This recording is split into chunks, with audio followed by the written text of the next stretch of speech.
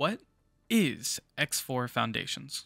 Well, it is a space simulation game where you can do a large number of things. It has its own economy, its own universe. You can pilot ships like this. You can hire the people to do it for you. But most of your time is going to be spent in a menu like this. The only thing the game really is missing is Star Wars, but you get most of the stuff from a mod. If you want to know what it's like to play the game, well, it's kind of like this.